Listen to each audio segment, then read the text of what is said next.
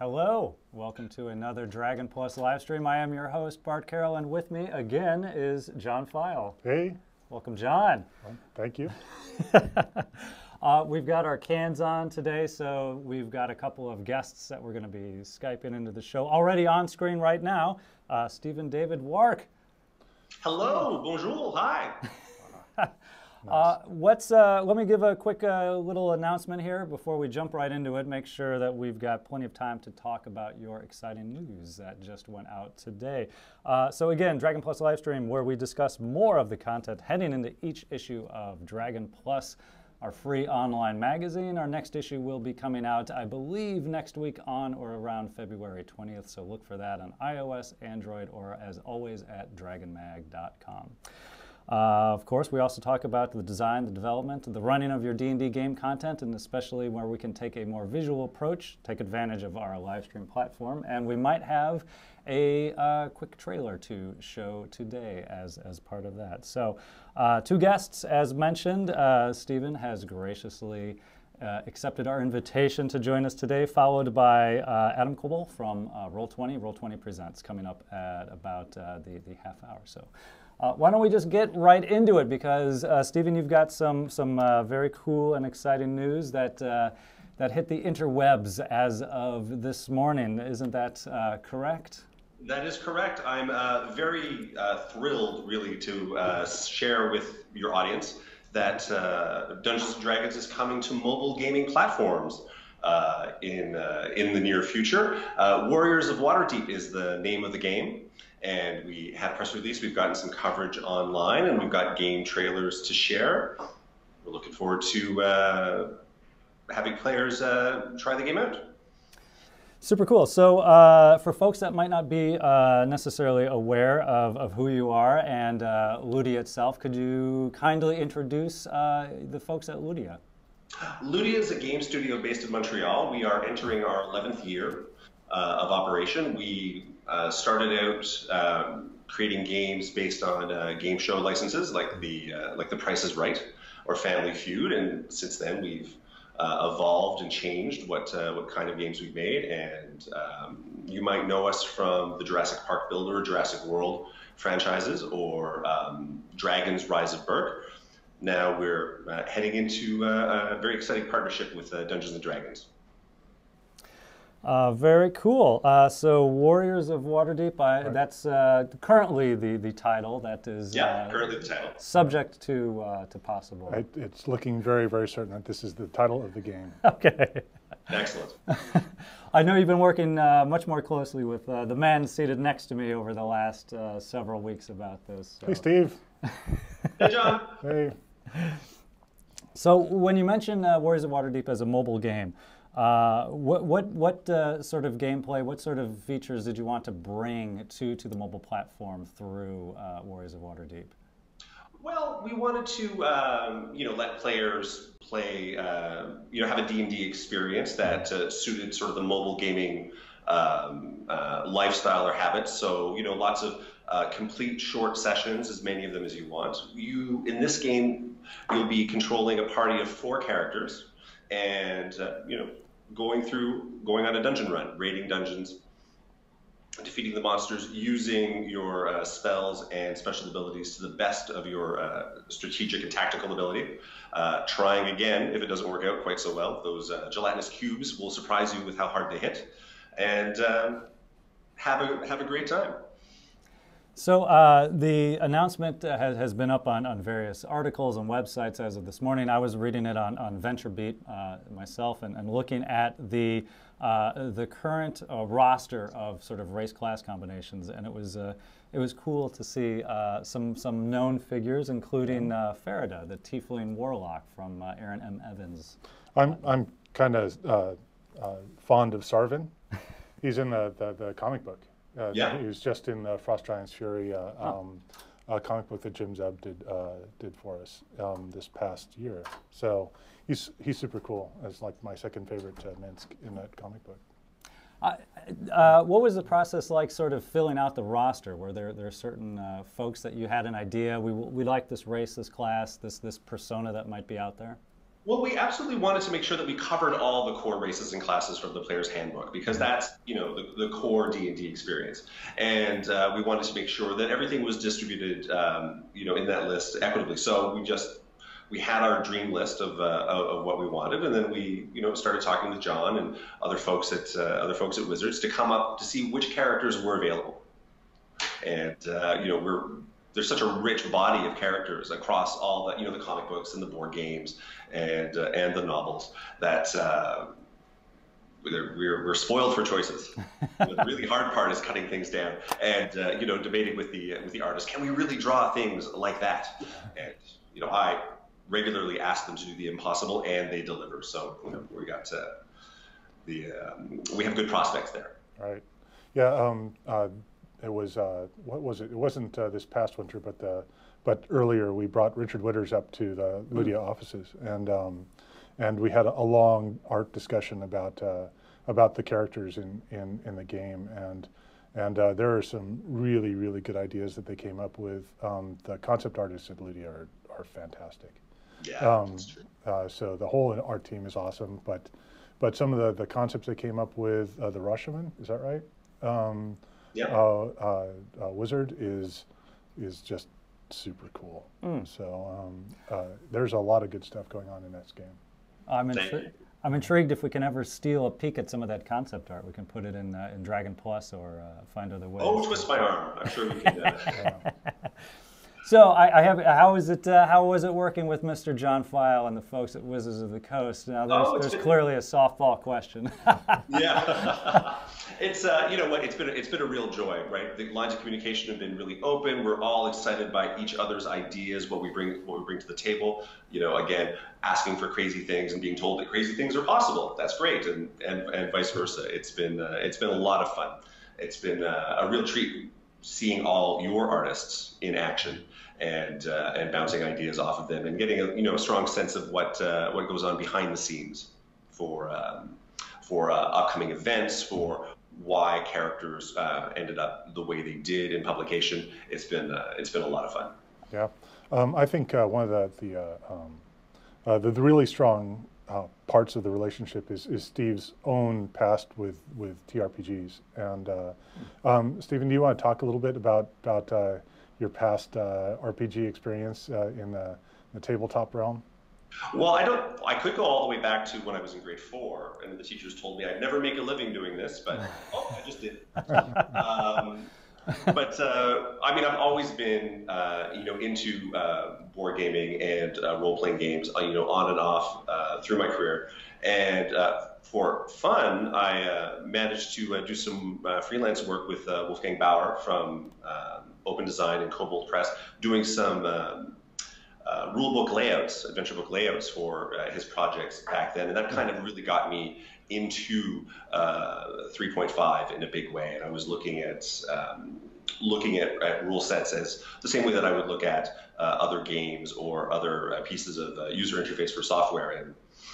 Trying to get the, the most fun, most usable products out there. So it's been it's been fun to uh, meet people at Gen Con uh, or through the various forums from um, uh, from Wolfgang's group and, and, other folks, and then you know spin it out from there. Right, and it's this uh, this type of experience that that helps um, understand the language of D and D, right? So when, when we have a devel developer, a, a, digital developer that's coming in and wanting to make a D and D video game, having that kind of background uh, establishes channels of, of communication that somebody without that kind of context um, won't understand, right? So, so uh, having Stephen there to to really kind of uh, understand where we're coming from when we're talking about the Sword Coast and Waterdeep and what's going on in that that region, um, and then uh, talking to his his uh, fellow. Are you Ludiaites or what? we're Ludians. Ludians. Okay, yeah, so Ludians. That, that's uh, um, that's that's um, an important point of uh, clarification. Right. Yes. Very good. And I have to say that you know, you know, my personal enthusiasm is, you know, on, on some occasions dwarfed by the enthusiasm from the other team members. They, there's a lot of D and D fans in there, and we all, you know, uh, know uh, what make know that D and D is fun, what makes it fun, and so mm-hmm. we have that. Uh, we put a lot of positive energy into the decisions that we're making for the game to run. Right. There are some stories that came out when um, uh, they announced at Ludia that they were going to do the D and D game. That uh, that that several people decided to jump ship from their own projects and try to, to get into the D and D project. Um, but uh, but I think we got the best of everybody there at Ludia. Thank So- you. I would agree. Present company accepted.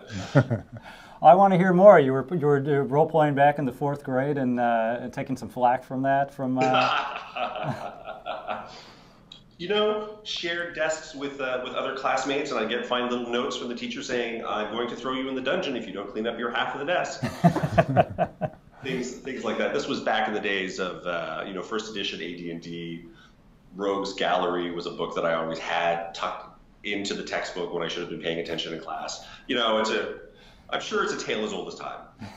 I'm too busy too busy playing uh, it is. math. Although I was really good at integers, so you know, Nice. THACO So- minus 10 AC was easy to manage. So like decimals not so good. Your pardon? Decimals not so good. Percentages could leave those behind. No. No. Just those integers just just were right there for you. yeah. Yeah. Uh, so again, for folks tuning in, uh, we're talking to Stephen David Wark from uh, Ludia, talking about Warriors of Waterdeep. It's early days yet. The announcement was just made uh, this this morning. Uh, from from uh, and where can folks uh, go to find out more information now if they're interested in, in pre-registering for the game? If they're, Oh, uh, we have uh, we have our website up and running at uh, warriorsofwaterdeep.com, and uh, we have the full slate of social media um, uh, available on Twitter, on Facebook, on Instagram, uh, YouTube. So you can, you know, search on those platforms as well and uh, be directed to our pre-registration link. So if um, you kind of lean over to your, there you are. Look at that pre-register there, warriorsofwaterdeep.com. well, we can only see on. Uh, we've got a, a we've got a good view that we were just discussing before Yeah. before the stream. For folks wondering why we look like we're looking above you, it's so that we can see Stephen. on the- Right. the Stephen's head is floating above the camera. so it's, it's like one of those robots with the screens for for a head that wander around, and Yeah. it's, it's like Don't reveal the secret. yeah, I know. Uh, so we've been talking about the game for a little bit. Uh, we, we do have the 90 second uh, trailer.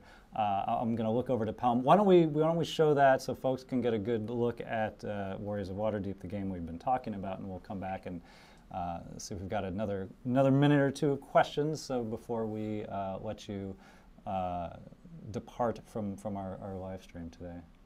All right. So we'll see if this is good to go. All right, we're ready to go. So we're going to roll uh, the 90 second trailer from Warriors of Waterdeep.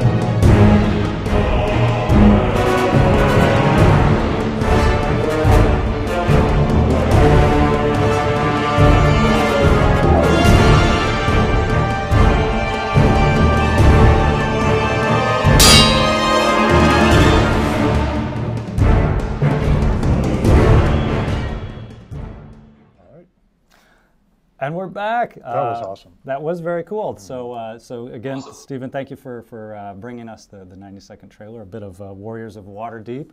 Uh, I mentioned before that uh, still early days. We'd love to have you on Dragon Talk, back on Dragon Plus, and, and as the development continues, so we can really dive more into uh, the, the creation and the, the formation of the game and, and what all is all going to entail. Have we talked about release dates yet?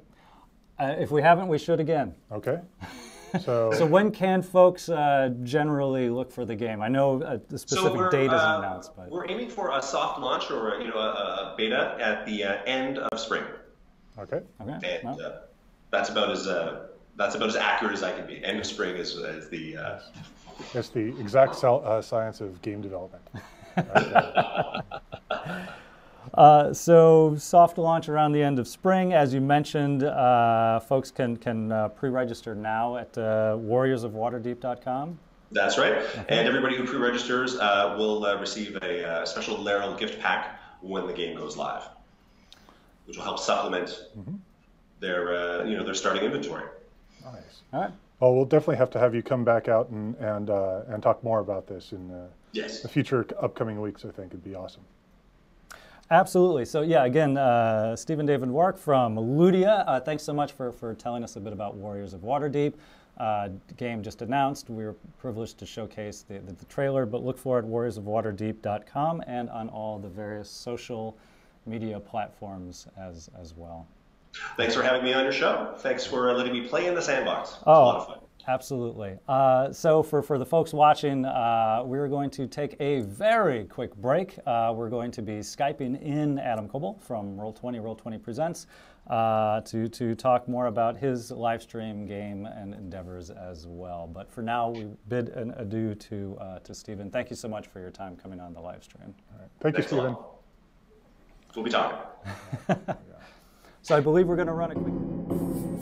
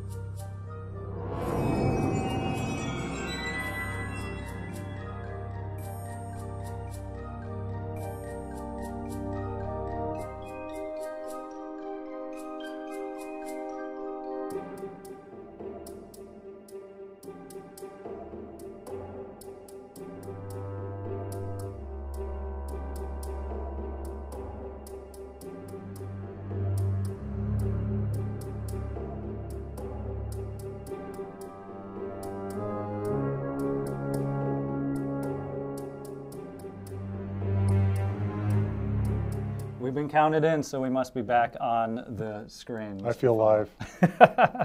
Uh, we have our second guest is already sharing his screen, Adam Koebel from uh, Roll20 and Roll20 Presents. Uh, really quickly before we, we jump into our conversation, Adam, I did want to mention a quick uh, welcome to folks that might have carried over from Mike Mearls' Happy Fun Hour. Uh, this was episode three. He, uh, this week he's been increasing his audience each time, so chat was getting crazier and crazier. But we we uh, we love that. Uh, he showcased a bit of the Rogue Acrobat and then the Giant Soul subclass. Uh, so for folks interested in watching design in action, Mike Mearls' Happy Fun Hour. Uh, immediately preceding this show, 1 p.m. Pacific time on Tuesdays moving forward. So, welcome. Uh, and in any case, uh, we would love to welcome on the stream now Adam Koebel. Hello, it's me. How are you doing today? I'm great. I'm doing so good. This is a this is a week of heavy, heavy Dungeons and Dragons for me. I've I've I've got four four hour episodes of one show and then we did a three-hour episode of of Tomb. Plus, we had a roundtable on the weekend. So I'm just like D and D on the brain this I, week. I was I saw the round uh, the round. I was going to uh, ask a little bit about the roundtable. Yeah. It's like 21 hours of D and D. Yes, yeah, it's it's it's nuts. I have one one eight hour live show. I'm flying out to Texas for that, Oh. and then two four hour shows of the of the same one, and then we did Tomb as well. So I love it. I'm happy. I want more D&D. Just give it to me. I want all the Dungeons and Dragons. Give them to me. You got it. Uh, so uh, for folks that that uh, might not be aware, uh, Adam, you DM for the Roll Twenty Presents show, which normally streams on the D and D Twitch channel uh, Fridays from one to five p.m. Pacific time. That's right. Yeah, it was. It used to be. I think we did like two two to five, but we were like, no, we need more. Give us another hour. So it's four hours now, which is super exciting. And we were we were more than happy to have you uh, on on as Mm-hmm. well.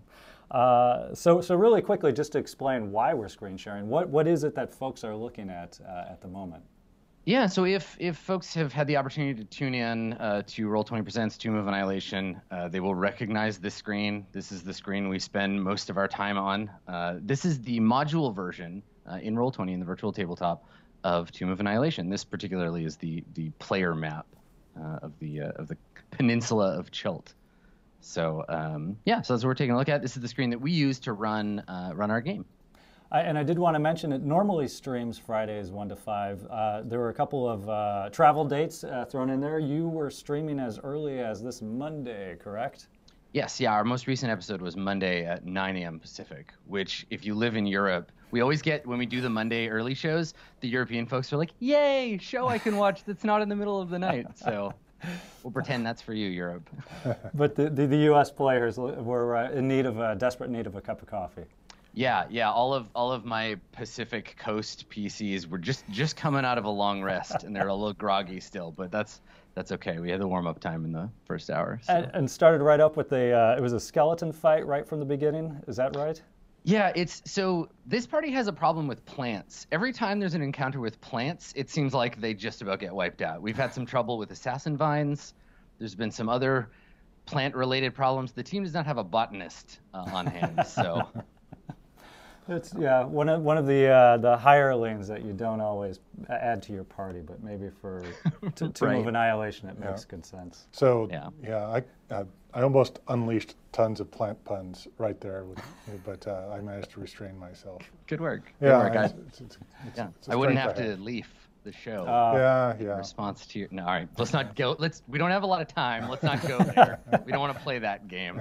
So uh, again, Roll Twenty presents usually on Fridays, uh, but you did stream Monday, so we'll see you again next Friday as, as we pick up the campaign again. Yeah, that's right. Uh, so, so really quickly for folks that might not be uh, uh, watching, and you should, uh, who uh, who are the players in your campaign?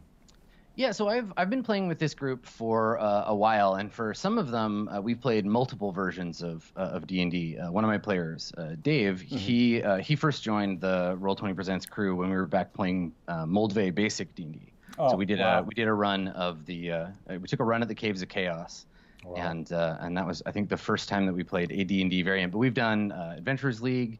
Uh, we we took a trip through Caraptus's Funhouse, uh, and, uh, and that was good. But the Tomb uh, we've been playing for about it'll be 20 episodes uh, next Friday, uh, and I'm playing with uh, yeah Dave Dave Human, uh, Blue Jay, um, Distracted Elf, and uh, Commuting Crow, my friend Andrew.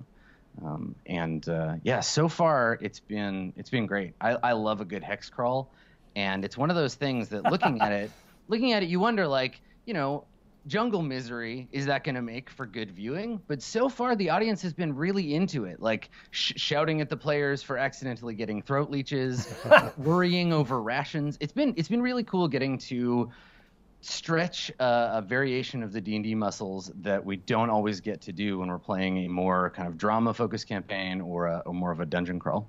Yeah, there's there's something about the Tomb of Annihilation campaign that definitely lends itself to some of those. I I, I guess I would say old school threats and considerations, whether it's you know the, those environmental hazards or rationing uh, uh, gear and equipment and uh, finding you know porters and things along those lines. And Sometimes getting there is more exciting than, than the actual end uh, spot that you're going. Well, I, to. I mean, I know for me, when I showed my players this map for the first time, uh, their immediate response was, "Oh, we got to clear all the hexes. I got to co- I got to cover Ah. the, the whole jungle. We want to see the whole thing."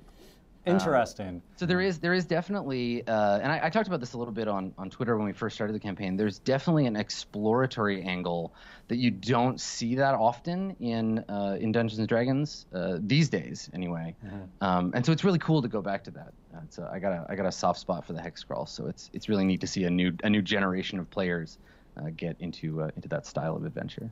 So, so they were they were treating it as a bit of a fog of war, where they the, the goal was to clear away as much of it to, to, to map the entirety of, of Chult as possible. Right, right, and and you know we, we see on the on the map like there's some areas around the the outside edges, right, mm-hmm. the Mistcliff Mountains and Kitcher's Inlet and Refuge Bay, like those are all available to the players right from the beginning. But all of the other all of the other clear out hexes, uh, that's that's player progress, right? Umbala and Orolunga and down here in the Aldani Basin all of that is player work. That's stuff that they went in and, mm. and wandered around. now they know those things are there. So it's uh, it's been it's been cool. It's a nice way on top of your character's experience points to measure your progress. To say, oh well, that this is where the Aldani Basin is. We know that because we went there. Right. Yeah, I, it reminds me. I was once given a gift of a world map, and it had the sort of scratch off coverings to it. So oh, every country you visited, you scratched it off to reveal. Oh, you mean a real world map? A real world map. Okay. Yes. Wow, I never got that. but, but I like it. I like that uh, you're, you're employing something similar with this as well. Have have the players? Uh, have there been moments where you've revealed something dramatic underneath one of the hidden squares that they were not expecting? One of the ruins, one of you know, one of those abandoned forts.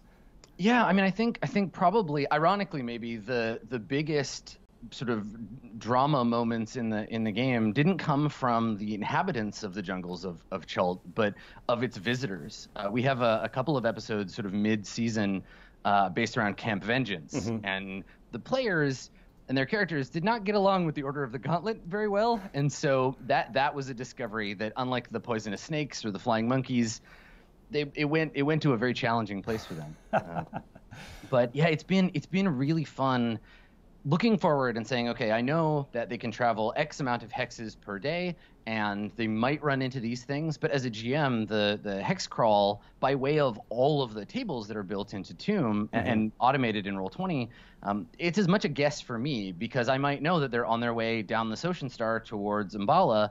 But what I don't know is if they're going to randomly encounter anything, and if so, what are they going to run run into? Is it going to be Zhentarim agents, or is it going to be a dinosaur, or is it going to be the aforementioned flying monkeys? Um, and it keeps it keeps it really exciting for me because when I play, even though I get to see you know the the GM version of the map and I get to see where everything mm. is, there's context in between, right? Where I, I get to learn what the players are going to discover as they delve deeper and deeper into the jungle. Do you leave yourself notes uh, on the GM map to, to remind yourself of where everything is, or do you just keep notes off to the side? Yeah, so I, I keep uh, I keep most of my maps. I'm I'm that's one way in which I am I am old school. I, I have a notebook that I keep some of my notes in. Um, but what's fun is that when I when I run the show, all of the audience gets to see my view of the map. So they're they're like mm-hmm. my sort of co GMs. So occasionally I will have to like they'll see an adventure uh, encounter before it comes up. So I'll roll, and all of the audience will be like, "Uh oh, what's like?" They're getting scared. Like something big is coming and then it, I release the the Tyrannosaurus on the players, and uh, we have this sort of dramatic irony with the chat. And so occasionally I'll use the map to communicate to them. The players will be talking about, well, what if we use fire on this creature? And I'll just be ominously circling the fire resistance on the monster's character sheet. Like, there, it's a good plan, but here, take a look, chat. Have a look at this, because it's not going to go the way they expect it to.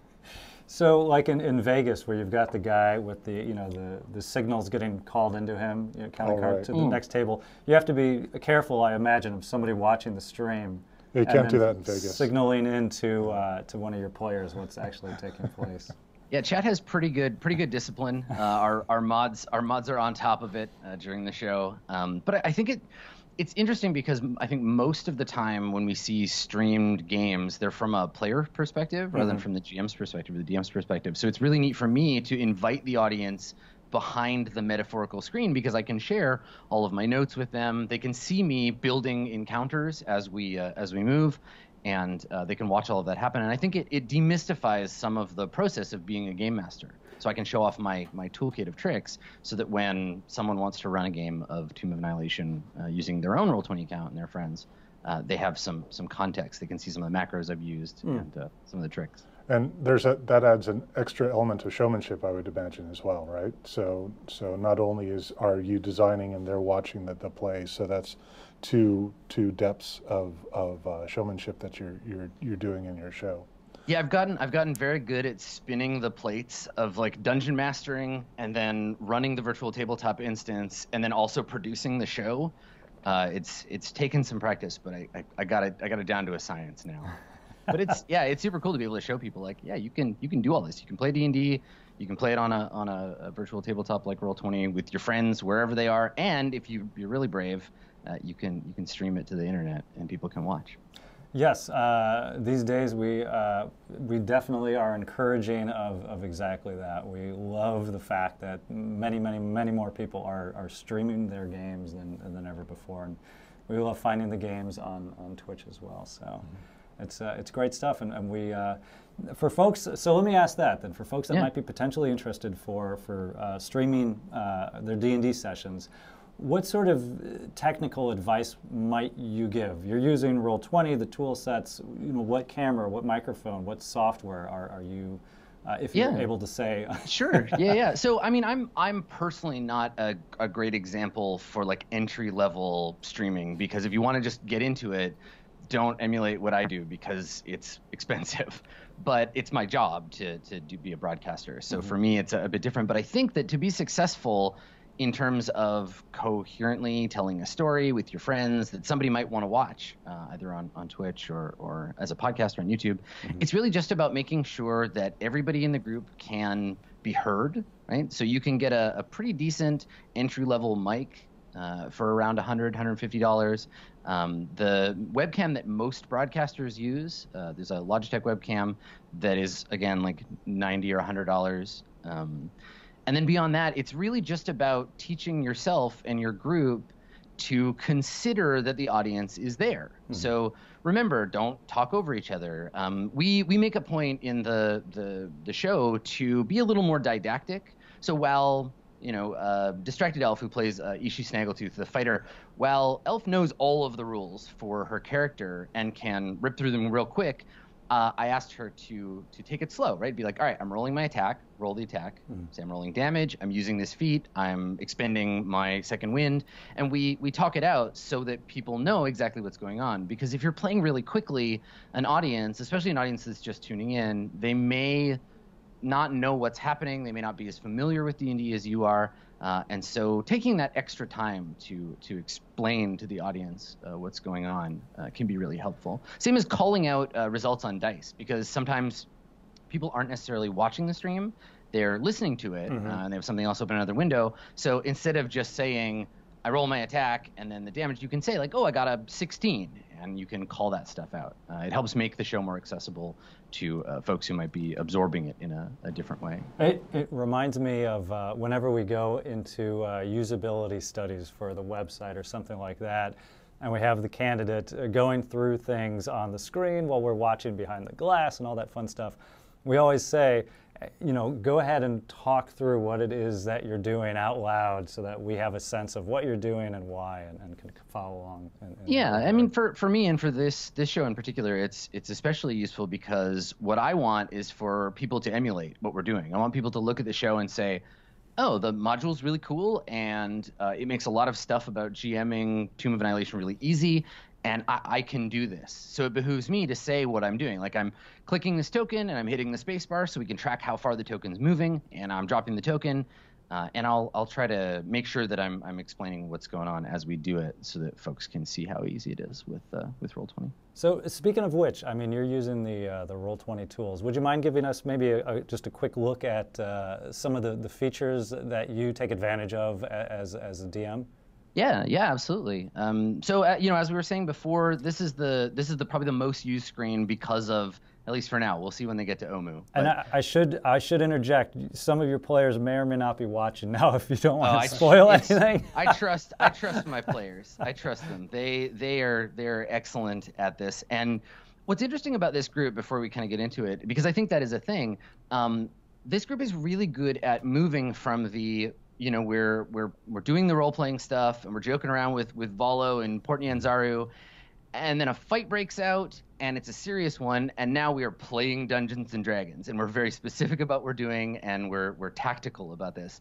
Mm-hmm. And uh, and so for them, the the challenge of like playing the game, of choosing the right feats and, and moving in the right way, uh, is a big part of it. Um, and anything that I show the audience, you know, the players might have a little foresight if they were to pop into chat, but I'm not worried. I can still take them. I got assassin vines for days, so right. I'm not worried.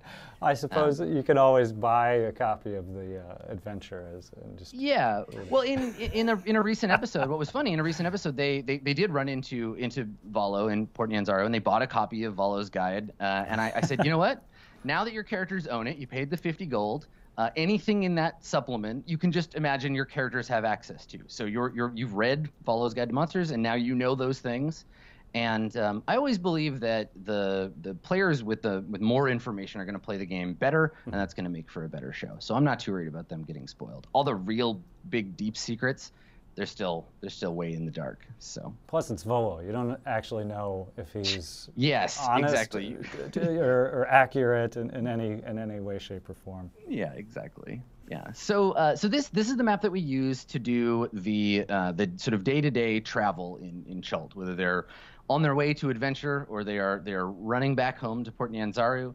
Uh, you can see that they have their own their own little marker down here. And so what we do every day uh, is the we, we begin a travel day with the cleric casting uh, bless on whoever is going to make the survival check mm-hmm. to uh, to gain the party. They're going to tell me what hex they're moving into. And then I've built some some uh, macros that let me run through all of the all of the rules of that. So I've got a little wayfinding button down here that brings up my uh, my macro. So I can choose: is it one player by themselves? Do they have a guide giving them advantage? What's their skill bonus? Right. So say they have a, a seven, and we can put that in. And then we can say: Are they going normal? Are they going fast? Are they going slow? And then I can say what terrain they're moving through. So say they're going through the jungle. And when I submit the roll, uh, my little are they lost macro tells me that they got a 17 against a DC 15. And you can see because it's yellow here, this is secret for me. Well, me and for my chat. So chat knows if they're lost, but the players might not. Hmm. And then I can move their I can move their hex token, and you'll notice when I move their uh, their token, there's another token uh, underneath on the GM layer to show where they actually are. So I can move them I can move them around and say, okay, you're you're in the jungle over here, but actually you're over this way. so as they as they maneuver through the jungle, Chat and I know the the real secrets, but the uh, but the players get kept in the uh, in the dark. Um, and so the the same is true when we look at a uh, at a dungeon map. So if I take a look at, for example, I think I have a player token in Fane on the Night Serpent. So we'll zoom out here. So in the dungeon map, it's the same thing. You can see all of the all of the tokens are already added. All of my miniatures are, are on the table. Um, but if I look at it from the player perspective, all of the uh, all of the tokens they wouldn't be able to see are grayed out, and I can take a look at uh, all of their stats on the token, and uh, we can have them moving around in the uh, in the dungeon. So both kinds of maps get used. We have maps in the uh, in the system for all of the maps that are built into um, into the adventure. Mm-hmm. So like as you saw when I was navigating the toolbar, uh, we have Chult, Nyanzaru, um, the various places in Chult. They all have their own maps populated with tokens. Uh, and then I have a few uh, additional sort of random encounter maps that I've grabbed from the Roll20 marketplace. So a generic jungle or two or three or four or five, so that if I roll one of those random encounters on my, uh, say, my jungle encounters table, and I suddenly need somewhere to encounter a were tiger in human form, uh, I can uh, I can pull that map up, throw it out into the adventure, populate it real quick with tokens either from the monster manual or from my own prep, and uh, and then snap over to that screen. And during the entire during the entire section, uh, chat is able to watch me building these random encounters as they are having a discussion about whether or not to approach this this character or whether to uh, back away from the grungs they see in the jungle and that sort of thing. So it gives me both the the tools for dealing with the random stuff as it comes up, but then also all of the the preset qualifiers. So things like the Fane of the Night Serpent and Port Nyanzaru and what have you. And while you're building this, uh, your players are happily talking amongst themselves, planning on how they're going to approach the encounter. Yeah, yeah. So so the players, you can notice there's a little red ribbon on the players map of Chult here. So I can move around. I can go over to Beach by Night, or I can take a look at Ataaz Muhahah, and they're still looking at the map of Chult. Uh, they they may not even know that an encounter is coming mm. because again it's in yellow, so it's a random encounter that only I know about. Mm-hmm. And what's been really fun about doing the the random encounter stuff. This is my favorite thing about random encounter tables in any variation of D&D is trying to find context in the adventure at large for the encounters in the moment. So in any other group, this were tiger in human form might be um, it might be any any random were tiger. I could just come up with a name and we could use it. But because I know that previously in the adventure the characters uh, interacted with uh, Azaka Stormfang, I could say, oh, this sounds like Azaka maybe they run into her in the jungle. Uh, we had that happen with a, um, a group of Zhentarim assassins who were looking for Artus Cimber. Um, I knew that there was a named, particularly named Zhentarim in the uh, later parts of the adventure, and so I just tied those two encounters together. Very cool. Man, Where Tiger in human form is an awesome Twitch handle if it's not already taken. yep. Yeah. um, it's like 25 letters or something. Yeah, well, I didn't, not, a, not, a, not a short one. uh, so we're looking at some of the uh, some of the tokens now on, hmm. on the screen. Yeah. So um, all of the uh, all of the encounters in the uh, in the game, whether they're random or intentional, they're either put directly on the map where you need them. So if you go into the the grung camp, it's going to be full of the appropriate grungs. But if you need to find yourself some additional grungs or you want to put together a, a random encounter, all of the tokens are uh, are put in here onto a, an individual screen. They're all statted out already mm. with their hit points, their armor class. Um, and then as well, you can pop open the character sheet just by shift clicking on them. And so this will give you the whole page, the, the same monster stat block you would get. It's going to give you uh, some GM notes about that. And then if you click on character sheet, it's going to flip us over to all of our rollable actions. So now we can use this screen for the Hydra to make strength checks, make saving throws, make attacks, roll initiative, uh, and all of that is available from here. So you can mix and match the kind of mapped encounters. We did uh, we did one recently, the the aforementioned assassin vine battle. Uh, we did that without relying on the map because they're assassin vines; they're not going to be moving around a lot. Uh, and so we just did the, the theater of mind, but I popped over to one of these screens and I just used the Assassin Vine character sheet uh, on here, uh, using the tools that the, the system gives me to track things like initiative, um, and then we just narratively describe movement and, uh, and uh, effects of spells. Super cool. Yeah, I'm an incredibly lazy GM. Um, I I am not like I, I don't have the the time honestly anymore to do all of this myself. So if someone were to to give me a, a, physical copy of Tomb, I would look through it and I would be like, "This is amazing. I would love to play this." But I just like I don't have time to prep all these encounters, which is why I like the virtual tabletop version. I like the Roll Twenty version because it caters to my laziness. And what's been really fun is uh, as I've been as I've been doing it, you know, you it doesn't matter how long you work with a tool or how long you play a game. There will always be people who uh, have uh, little tips and tricks about it that you don't know, and so chat will mm-hmm. offer up like, "Hey, if you do this, then it will go faster." So, like one example, um, there's a paragraph in Tomb about weather, but there isn't like a specific weather table. Uh, just make some suggestions. So a fan put together a weather macro, and so now every day I can say, "Looks like today it's misty." Mm. Or tomorrow it's rainy. So every day before we start the encounter, I can just punch out the weather of Chult. And this is something that a, uh, a fan put together uh, for for their uh, home campaign in in Roll20, uh, and then just shared it with me. And the the Roll20 forums are full of these kinds of things, helpful macros to uh, shorten the amount of time it takes to do things, uh, little tips and tricks for the OGL character sheet. Um, and things that appeal to a lazy game master like myself. Well, we were talking about that uh, off the air beforehand. I, I, would contend that anyone who's who's uh, DMing 21 hours a week is far far from uh, far from lazy. Fair. Right. Fair. That's true. That's true. Well, it depends Listen, on I just, your players, I don't have right? a lot of time to attend to any given thing. I'm doing so many things. So so anywhere that the the system can can smooth that out for me, uh, I'll take it. But but it is a, uh, I, I, suppose a truism. There's there's some some work and effort that goes into being a dungeon master, and and you know uh, we we try to make sure that the campaigns are are as easily run uh, out of the cover to cover out of the box as, as possible possible. But having those added tools, uh, Roll20 and, and the, the, macros and, and, the advice that you can turn to only makes the job that much uh, easier. Right. So. Yeah, absolutely. Well, like I, I remember playing like this this year is my my 25th anniversary of being a dungeon master. Um, and I remember when I first started uh, playing as a kid with the old second edition Forgotten Realms box set, the one that came with the the clear plastic overlay with the hexes on it, mm-hmm. and like counting hexes and seeing how long the the ship voyage from Waterdeep to Baldur's Gate is, and and having the time to do all of that that work. And certainly with uh, with Roll20, you can still custom build your own you know your own content, your own dungeons, uh, apply the the dynamic lighting and build encounter tables. Um, but but thankfully, in the case of Tomb of Annihilation, the hardworking folks in the engineering team have done all that work for me, and now I can just do my GM thing.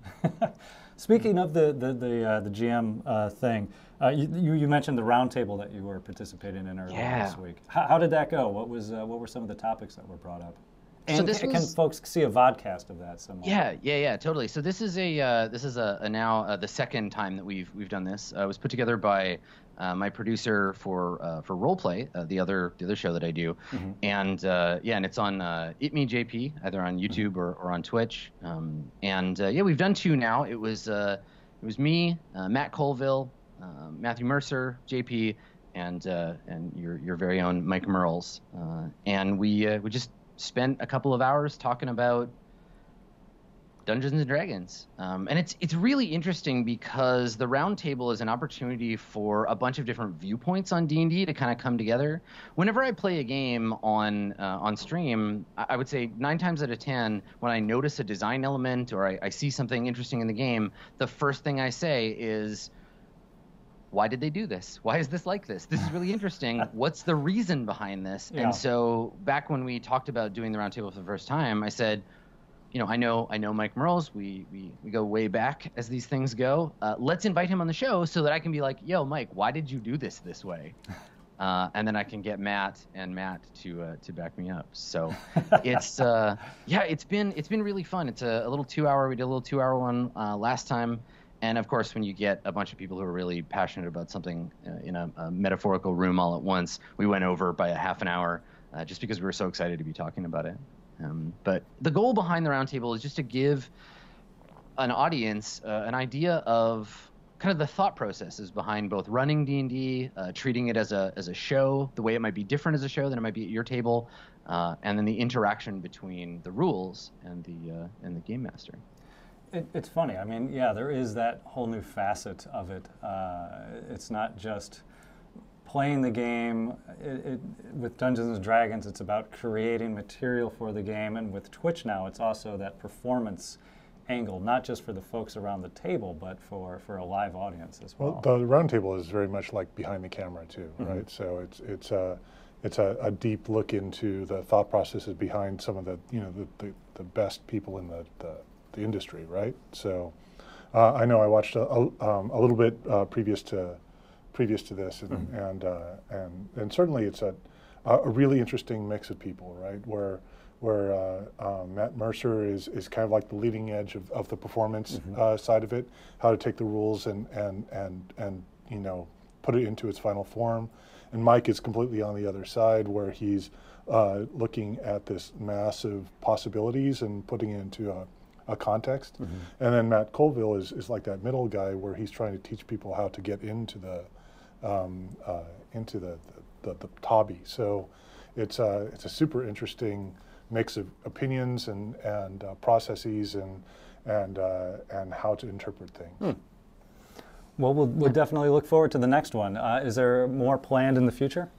I, I feel like as long as people keep showing up, we'll we'll keep trying to do them. But as as you can imagine, uh, as with most things of this nature, scheduling is the is the nightmare, right? Finding finding a time to get all those those busy folks away from their you know, working on Dungeons and Dragons or running Critical Role time or having an incredibly successful Kickstarter time. You know, we we we don't have a set schedule for the roundtable just because we're like, all right, so we did number two. We'll see you in X amount of months for number three when everybody is free, when the, the stars align. Um, but we definitely, yeah, we definitely want to continue the series. And for me, like all of this kind of came from just having a three-hour-long conversation about streaming and design with Mike at Gen Con, mm-hmm. and now we can have that three-hour conversation, but in front of an audience, uh, and uh, and impart some of that wisdom to uh, to the crowd. And and what about the Roll Twenty Presents campaign? Where where are about in the uh, in the Tomb of Annihilation campaign are you, and, and what might be coming down the road in the next uh, couple of sessions, without you know obviously spoiling it too much for. for sure, players. yeah. So we we just entered what kind of feels to me like sort of season two, if you want to think of it that way, in that the characters are all approaching sixth level. Um, they've they have learned of sort of the the middle boss of the of the campaign, uh, and now they have they have this massive stretch of uh, uh, hexagons to explore as they uh, as they head south towards towards Omu. So, yeah, it's it's interesting because it's it's hard to predict how long a, a campaign will go, but with the way that uh, that Tomb is structured, you can kind of look at the challenges that the players are ready for. And now I'm in a place where I'm, I'm ready to kind of bump them up to tier two to be like, all right, you're getting to be serious players in Chult. Let, let's see how you feel about taking on the Yuan Ti Necromancer.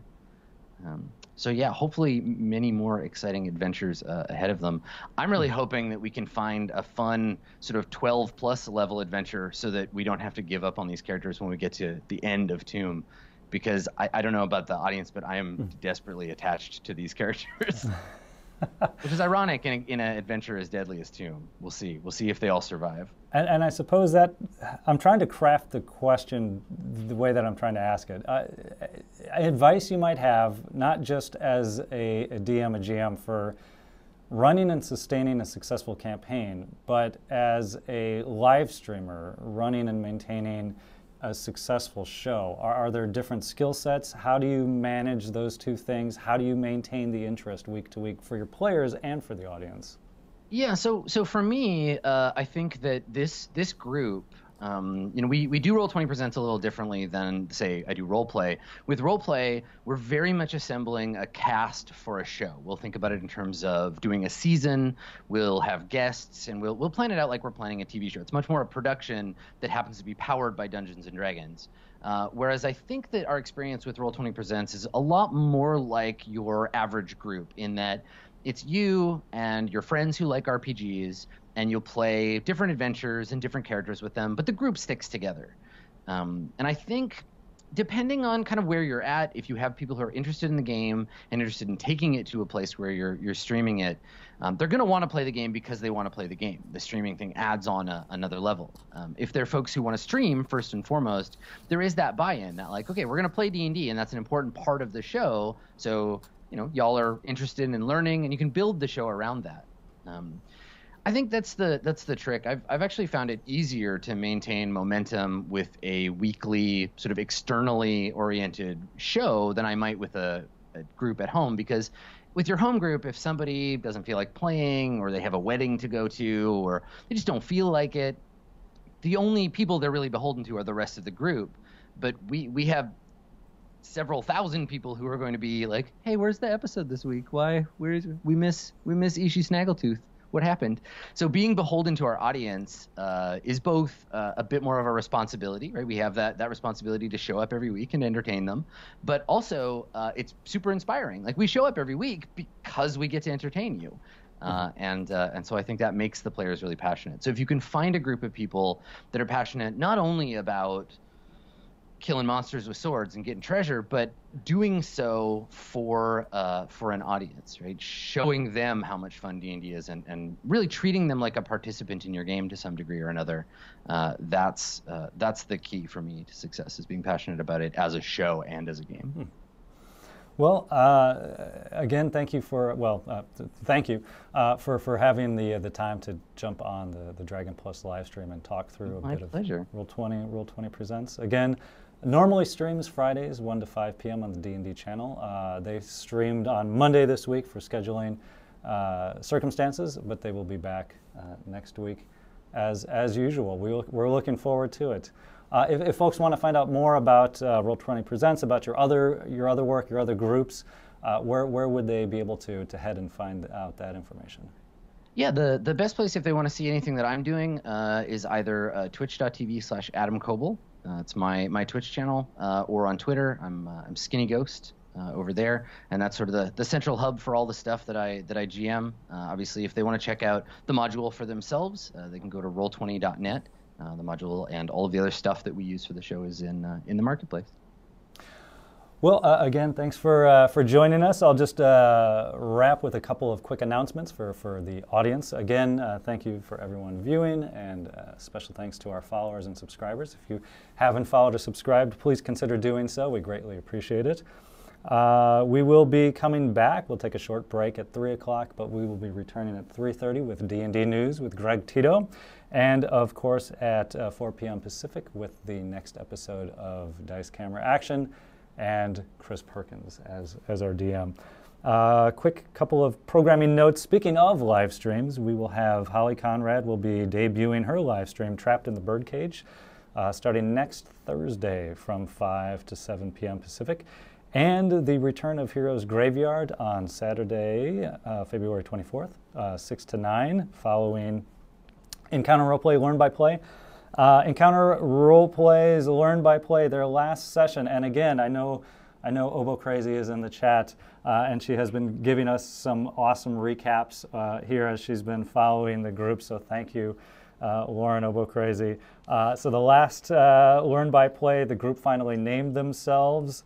the wild card survived a fight with the Tabaxis Tabaxi Zhentarim and our uh, will, uh, speaking of uh, a bit of uh, education for, for live streamers and dungeon masters in particular, uh, the Learn by Play uh, group also tries to, to, to break from time to time and will give a bit of, of, of some of the lessons for what they're doing for how, how to fit the game into, into how to fit the, what they're doing into, into your game. So look for that. As always, Saturdays 3 to 6 p.m., followed by Heroes Graveyard 6 to 9 p.m.